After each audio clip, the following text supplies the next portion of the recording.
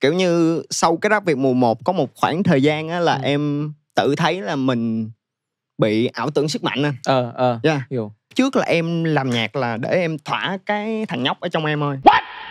à Còn bây giờ em làm nhạc là em suy nghĩ tới thằng nhóc của em sau này nó nghe Ờ. vô nó sẽ nghĩ như, như thế nào. oh. Tuôn nhiệt quyết trên nhịp biết Không là vòng đang điều tiết Chất xám đó theo vần tay kịch viết Trên lầu cao như tầng không hỏi tiếc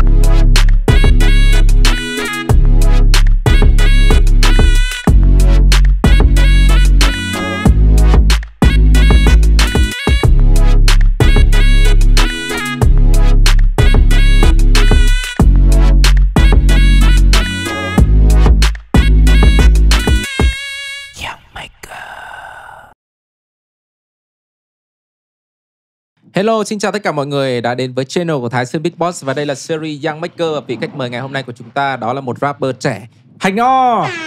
Yes sir Yes sir. Đã nói trẻ chứ thực ra tôi quen bạn này cũng 4 năm rồi. Từ thời chắc là em mới ờ, bắt đầu công việc này thôi. Dạ đúng rồi Đúng không? Mới Thời bắt cái đầu thời đó là em mới là trẻ anh Giờ là bắt đầu bớt trẻ rồi bớt trẻ là có người Dạ. có gia đình luôn bớt trẻ. thì lời lời đầu tiên mà em được xuất hiện ở Young Maker này thì em cũng muốn xin gửi lời cảm ơn tới anh Sơn Yeah, yeah, đã gửi tới em một lời mời thật là trân quý. yeah. Yeah.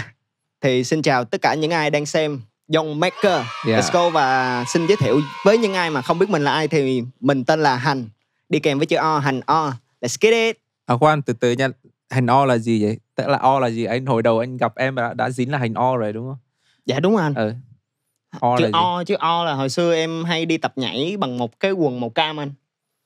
Chữ O để em tách trong chữ orange. Orange. À. Lúc đầu em định đặt cái tên rap của em là có gì đó orange mà Ờ. trong rap đã có anh Cam rồi ca sĩ À. là đã có chữ orange nên em tách cái chữ ra riêng. giờ mới biết. nó hơi khó hiểu nhưng mà yeah đó đó là cái tên của em Nó cũng cũng không không vấn đề gì. dạ Thực ra nếu mà nãy à, Hành O có giới thiệu cho những người không biết Hành O là ai thì tôi nghĩ nhiều nhiều bạn biết Hành O chứ cũng không ít. Thứ nhất là theo như anh thấy nha. Sau cái lần anh và em gặp nhau thì em xuất hiện rất nhiều trên các à, chương trình battle rap đúng Dạ. không? Battle rap, à, freestyle nữa. Rồi sau đó là em xuất hiện tại một chương trình cực kỳ hot nhất trong năm đó là Rap Việt. Ừ. à, nếu không nhầm là hình như truyền thông hồi đó gọi em là trùm cuối đấy. Trùm cuối của vòng vòng ghi hình vòng loại đấy. em cũng À. không biết cái tên đó luôn Có mà, sao không biết được má? Đó là em không để ý thôi. Chứ thực ra là anh có quan tâm vì em hình như là người cuối cùng luôn á. dạ Đó, chốt sổ. Đấy. Say the best for the last. Đấy. em em nghĩ là cái đó là một sự may mắn của em một sự ngẫu nhiên nào đó thôi chứ em cảm thấy là cái Ừ. cái mùa ngày ngày mùa một em không phải là the best yeah Ừ, Em- thì anh anh chỉ nói lại lời của truyền thông thôi với lại lời của thầy em thôi thì anh có được nói gì đâu. Thế sau một thời gian từ hồi à, rap Việt đến giờ thì em có những thay đổi gì có thể chia sẻ cho mọi người biết không? dạ sau rap việt thì em cũng gặp khá nhiều Ờ, thăng trầm. trầm Ừ. Dạ, em cũng nhưng mà sau những cái thăng trầm đó thì em đúc kết ra được nhiều thứ Ừ. kiểu như sau cái rap Việt mùa 1 có một khoảng thời gian á là Ừ. em tự thấy là mình bị ảo tưởng sức mạnh Ờ ờ Yeah. hiểu. và trong khoảng thời gian đó thì mình sẽ không có biết là mình đang bị ảo tưởng sức mạnh đâu nhưng Ừ, mà đến khoảng thời gian sau này nè Ừ, khi mà ừ. em ngẫm lại á, thì em mới à lúc đó mình làm vậy là sai rồi Ừ. có những cái lúc mà em cư xử với những người xung quanh của em nó không tốt À, Yeah. hiểu hiểu. Thì sau những cái khoảng thời gian đó thì em cảm thấy là em đúc kết ra Ừ. được rất rất nhiều bài học Ừ. để bây giờ em có thể đi tiếp trên đường này Ờ. Dạ. Và sau thời gian gần đây thì em làm gì? dạ thời gian gần đây thì em quay về em tập trung cho gia đình của mình là À, chính Ok. bắt đầu tiến tới cái hôn nhân gia đình á, thì Dạ. em cũng muốn thông báo với mọi người là em đang có một ờ, em bé nhỏ Yeah, em theo bé bước, nhỏ. bước chân của anh Sơn yeah, bây giờ bé Ben được 4 tháng rồi nha cả nhà 4 tháng hơn Yeah. Dạ. Yeah. Nói chung là anh theo anh nha, bản thân anh bây giờ bé nhà anh là được à, gần 11 tháng. Thì thực ra nó cũng nếu mà nói là cái bước ngoặt thì thì nó là bước ngoặt chắc chắn rồi nhưng mà nó cũng gặp rất nhiều khó khăn nha Dạ, trong cái chuyện hoạt động nghệ thuật. Dạ, Theo rồi. anh là như vậy, em sẽ không có thời gian nhiều để em tập trung cho cái công việc của mình. Thế thì em có cách nào để mà mình à, cân bằng lại cái cuộc sống của mình không? Dạ không thì em cảm thấy là cái khoảng thời gian mình làm nghệ thuật á mình Ừ. có thể làm lúc nào trong cuộc đời mình cũng được nhưng mà ở khoảng thời gian con mình còn nhỏ anh thì Ừ, nó ừ. ngắn lắm à, nên em muốn dành khoảng thời gian đó cho con mình là chủ yếu thì ờ, cái cái mood mình cái âm nhạc có thay đổi gì không từ khi có con không dạ có anh nè dạ, kiểu như từ khi có con là em ờ, cảm thấy là mình bớt ham chơi à Bớt mình chơi. bớt lười ừ. và mình bắt đầu quan sát và mình định hướng chắc chắn là sau này mình phải làm gì làm gì Ừ. chứ không có phải là mông lung giống như thời xưa nữa À. Thực ra nãy ờ, khi mà Hành O bước tới nhà tôi có nói một câu Bởi vì tôi nói là ơ sao dạo này tóc em màu đen rồi Thì nó nói với tôi rằng là bây giờ có em bé rồi Nên giờ em cũng muốn nó ờ, kiểu đàng hoàng hơn xíu Tôi nhìn lại tôi kiểu Đây có em bé nha. Tóc tôi vẫn màu trắng bình thường Ờ, thực ra mọi người hiểu không? Cái câu chuyện này đó là khi mà có gia đình ấy Thì tụi tôi sẽ có bị phân tâm đấy. Nhưng mà những cái bước tiếp theo thì đa phần là nó Nó không được phép mạo hiểm ấy. Dạ. Mọi người hiểu cái Dạ, cái rồi câu chuyện đó không? tức là bây giờ chúng ta sẽ không sống theo kiểu là chỉ có bản thân mình và cái đam mê của mình nữa. Mà cái đam mê đó nó có lâu dài hay không và cái sự đầu tư nó cũng phải an toàn hơn rất là nhiều. Dạ. Chứ không phải là kiểu phóng lao theo lao nữa đúng Dạ, không? đúng rồi anh. Nhưng mà những cái chủ đề về âm nhạc hay là cách làm nhạc em có thay đổi gì so với ngày trước không? Dạ khác nhiều chứ anh. Khác sao? Chia sẻ dạ coi. tại vì lúc trước là em làm nhạc là để em thỏa cái thằng nhóc ở trong em thôi. À, còn bây giờ em làm nhạc là em suy nghĩ tới thằng nhóc của em sau này nó nghe Ờ. vô nó sẽ nghĩ như, như thế nào oh. thì ê cái này cũng vui nha làm để cho thằng nhóc hiện tại của mình à, nghĩ gì dạ nhưng mà sau này nó cũng nghe lại nhạc cũ của em bình thường mà đúng không dạ nhưng mà lúc đó em có những cái bài chỉnh chu về cái chủ đề mà nó ý Yeah. nghĩa thì mình có thể nói là đây lúc ba của mày trẻ đây. À. Ba của mày vậy nè. À. Nhưng mà từ khi có mày là ba mày vậy nè. À, nghe giống ba kể con nghe Nguyễn Hải Phong rồi ha thế xong mình thấy cũng hay đó. Thế còn những ờ, chủ đề về ờ, tình yêu chủ đề về ăn chơi club banger em vẫn còn khai thác không? Dạ tình yêu. Ăn chơi và em gom chung với tình yêu em luôn. Em ăn chơi chung với tình yêu của em. Ê cụm từ này vui nha mọi người. Ăn chơi với tình yêu của mình Mình gom chung làm một. Cũng hay ha Thế thì hiện tại là em có đang làm nhạc với ai không Hay là tự sản xuất ở nhà thì hiện tại em đang làm với lại Mr. Hổ với lại Donald Mr. Hổ với Donald Dạ. ừ. Và hiện tại thì có dự dự dự kiến sắp tới em có ra mắt hay là có album hay có EP hay bất kỳ kế hoạch chia sẻ không? ok anh Sơn muốn em tuyên bố thì em tuyên bố hứa trước với mọi người là một cái EP trước ha À. còn cái kia mình để Ờ, lại sau ờ, đi ờ, ờ. ok một cái nha anh anh, anh em Khi nào ra? Nãy giờ chờ.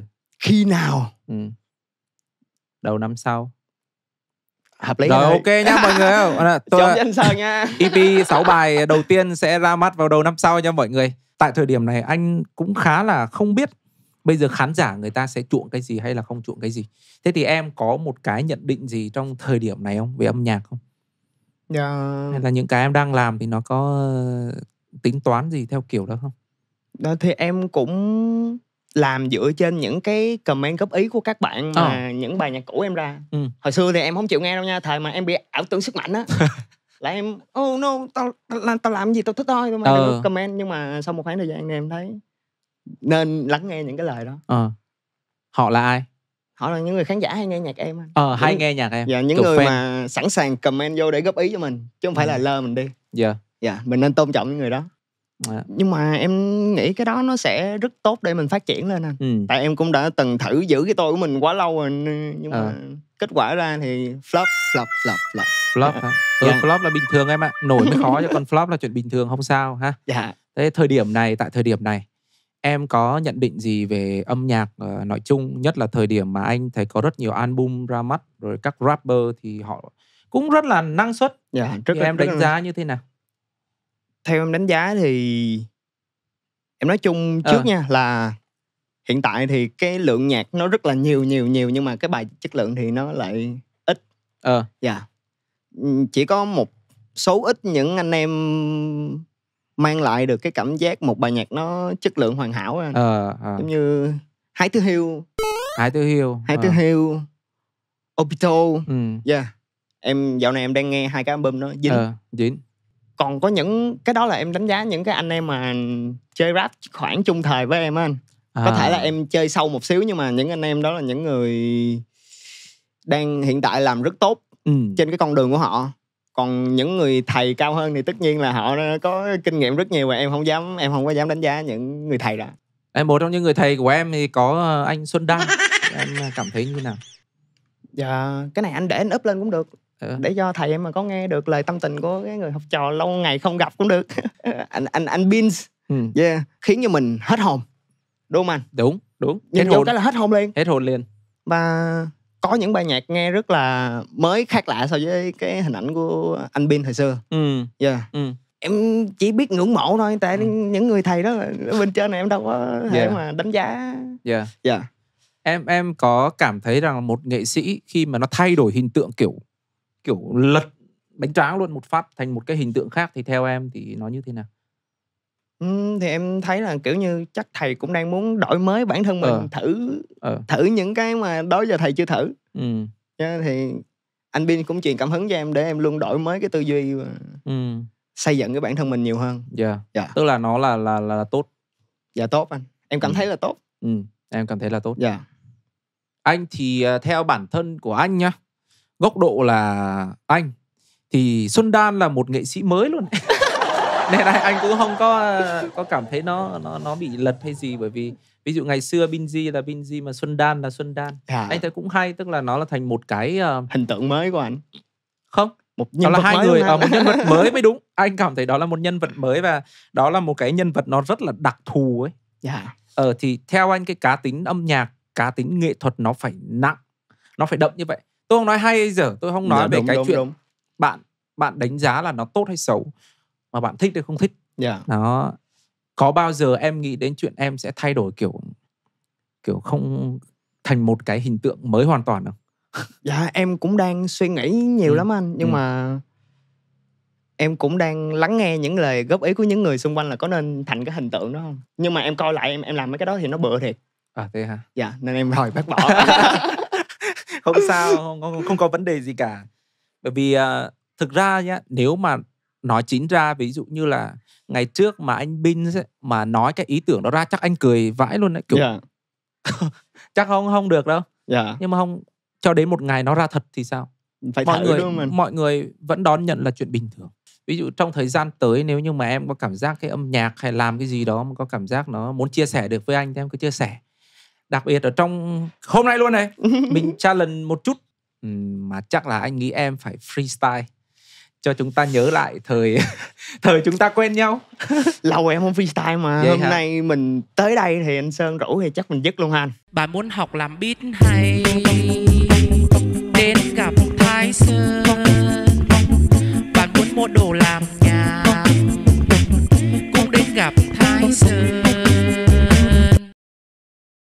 check check check. Ê, freestyle cipher thập cẩm lầu luôn nha anh. Ê, wow. Giờ cắn cái cái gang hả? Ê, Hả? Giờ cắn cái cái gang hả? That's right come on. Uh. tuôn nhiệt, quyết trên nhịp biết lò vòng đang điều tiết. Chất xám đã theo vần tay kịch lầu cao như tầng không hỏi tiếc điều gì vậy cây một tuần thoải mái khi có anh bắt khách như mình tập cách kiểm soát và nắm bắt tình hình. Mà muốn rap như thế là để muốn được quyền vần câu như két sắt trong một chứa là tiền giấc mơ lớn bên trong đầu là gia đình vứt đi những phụ phím thế anh không còn cần. Từ chúng mình một chỗ đứng để được quan sát toàn cảnh dù chỉ trong một lần. Ê, hey. Để xanh như hoa lá bay mùa trong khu vườn. Để giữ sự thuần khiết để không một ai coi thường. Một tay cầm mic rap và tay cầm đèn bên soi đường ha năng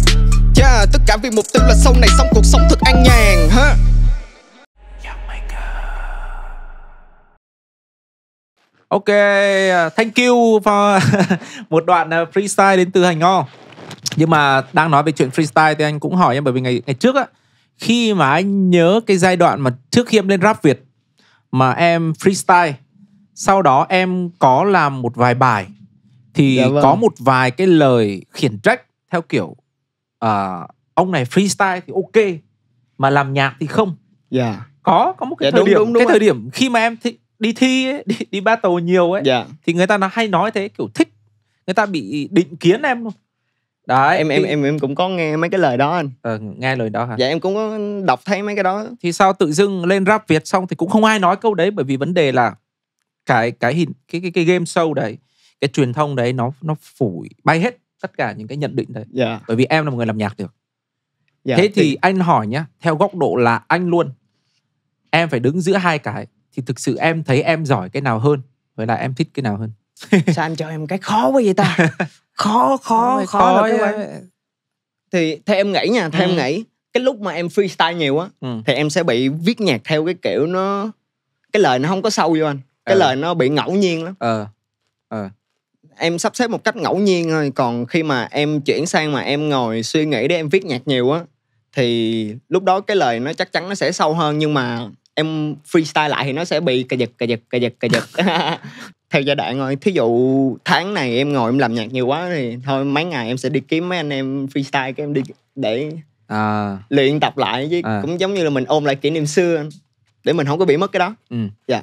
Tại em cảm thấy nó cái đó nó cũng bổ trợ rất là nhiều cho cái viết nhạc của mình. À.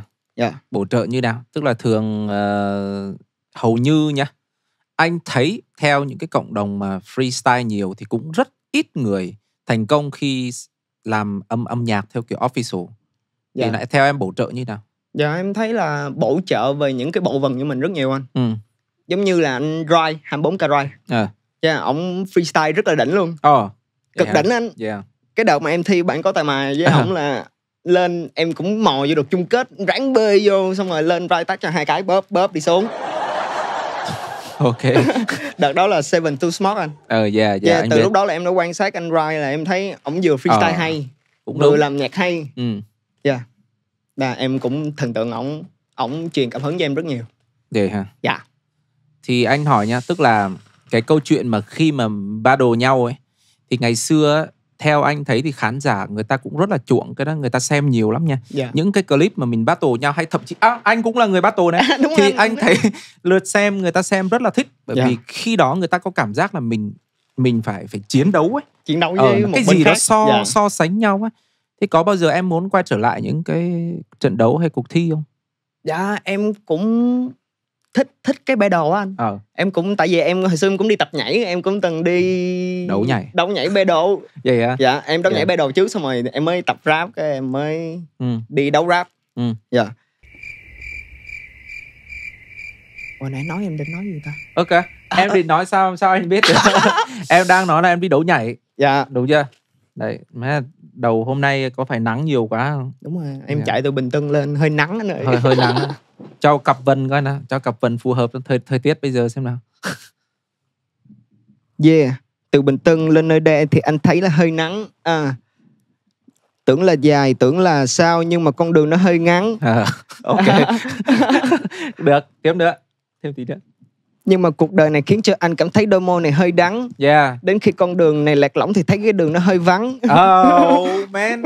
Ờ, hợp lý cũng được. Dạ nó là nhanh rất là là nhanh luôn. Dạ mà chậm hơn xưa anh. Ủa, chậm hơn xưa Dạ. nè xưa là nó ra liền luôn hả? Lúc mà có mút là ram nhưng mà nói chuyện á anh. Ok. Dạ. Thế các bạn ơi nếu như mà các bạn à, có nghĩ ra được một bất kỳ một cái vần nào các bạn hãy comment ngay bên dưới. Và sau đó tôi sẽ lại gọi điện trong cha này để bắt cha phải freestyle trên cái cụm từ mà các bạn thích. Hãy để lại cái comment ngay bên dưới ngay lập tức. Ngay nha. Ừ. không Và- comment là mẹ buồn á và tiếp theo đây thì chắc chắn thì à, đã tới với series Young Maker thì chúng tôi luôn luôn sản xuất cùng với những vị khách mời để tạo ra những bản nhạc nó hoàn chỉnh hơn. À, thì lần này thì à, không không thoát được rồi, chúng ta sẽ cùng làm nhạc với nhau để tạo ra một cái bài mà phục vụ cho khán giả thực sự chất lượng. Và hôm nay em tới mang tới bài gì nè để tụi anh làm nhạc nè Ừm hồi lúc đầu thì mình cũng có nói chuyện về Ừ, ăn chơi với tình yêu á anh ừ đúng. đúng không thì bây giờ em sẽ mang tới một bài nhạc để làm cho người yêu mình sẽ không phải buồn Yeah. Thằng cha Yeah. này ăn chơi có trách nhiệm nhỉ? đúng không ăn chơi mà phải vui cả hai thì Yeah, mình mới thoải ok, mái được ok. thì bài này có tên là nói đi Nói đi. những chàng trai nào mà có những cô người yêu hay buồn mà khó tâm sự thì bật bài này lên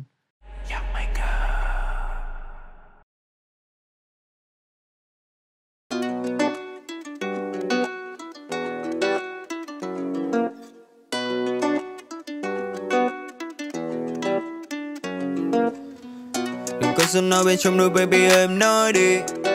Đừng nói với anh cơn mưa là mưa mì, Đôi khi em đau vì đời này thối tha này em muốn tìm được lời ra những cơn đau khi em không thấy gì. Đừng có sự nói bên trong đôi baby em nói đi. Đừng cứ im lặng rồi một mình bước đi. Vậy thôi, cùng ai mình dọc còn suy đi. Mắc cái người đã hiểu kỳ, không quan tâm họ nghĩ gì. They never know, But they acting like already know. Nhưng ta vẫn cứ là ta, nên không cần giải thích nhiều câu. Anh xả đôi cánh để bạn che chở em khỏi ánh mắt dù hâu. Let's go. Đường này trong bậc cay Em đi với anh từ khi anh không là ai. Rồi những lời mỉa mai hay đổ dòng bên tai. Nhưng em cứ yên tâm khi bên anh, em sẽ như là nữ hoàng ngồi trên ngai. Và rồi mình sẽ có trên lầu. Cảm nhận hết suy tư trong đầu. Vài màn giấy khiến đôi mắt thay màu. Và hai ta cũng tương hức khi trong đầu không có u sầu. Đừng có sống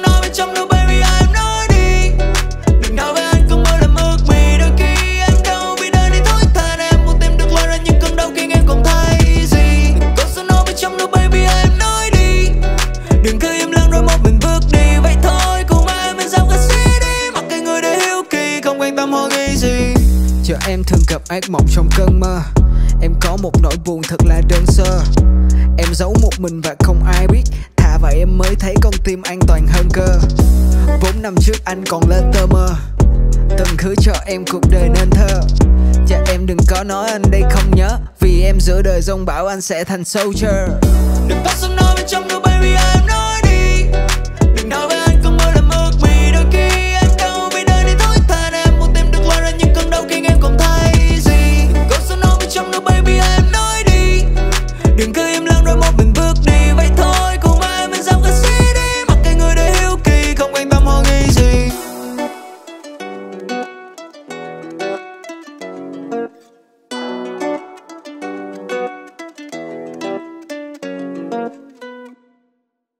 Bạn muốn học làm beat hay Đến gặp Thái Sơn? Bạn muốn mua đồ làm nhà Cũng đến gặp Thái Sơn.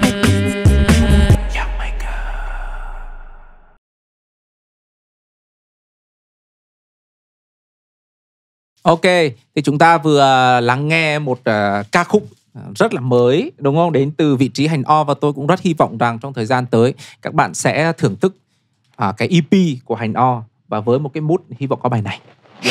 Yeah. yeah. À, chỉ mong là các bạn sẽ đón những cái bài này. Tại vì con biết anh sơn với lại Thợ beat. thợ biết đánh cực kỳ ác. Yeah. thưa các ngài. Dạ, thưa các ngài. Nhưng mà hôm nay thì tới thì chắc chắn anh sẽ có những cái à, phần quà tiền tặng cho em. Đầu tiên đó là đến từ à, vị trí của AMD đây trên bàn của chúng tôi. Đây ly cốc các thứ là AMD hết. Bởi vì đây là nhà tài trợ chính cũng như là cho anh có cái kinh phí để thực hiện nên chương trình này và một lần nữa cảm ơn AMD rất nhiều và có một cái nón và áo của AMD dành tặng cho em nhá. Đây.